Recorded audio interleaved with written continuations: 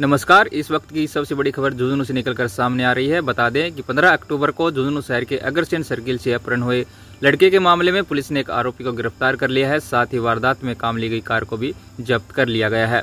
इस मामले को लेकर कोतवाल पवन चौबे ने बताया कि गिरफ़्तार आरोपी अभिषेक, पुत्र प्रमोद सिंह की ठाना गाँव का रहने वाला है। बता दें कि अभिषेक ने कुछ साथियों के साथ मिलकर 15 अक्टूबर को दोपहर करीब ढाई बजे नेहरा की ढानी के रहने वाले अंकित को कार से किडनैप कर लिया था। उसके बाद कार को अलग अलग रास्तों से घुमाते हुए लोग अंकित के साथ मारपीट करते रहे। मारपीट के बाद देर रात इस्लामपुर गाँव में वे अंकित को सुनसान जगह पर पटक कर चले गए थे। उसके बाद आरोपियों को पकड़ने के लिए पुलिस ने ज़िले भर में नाकाबंदी करवाई और एक आरोपी को पकड़ने में पुलिस कामयाब रही।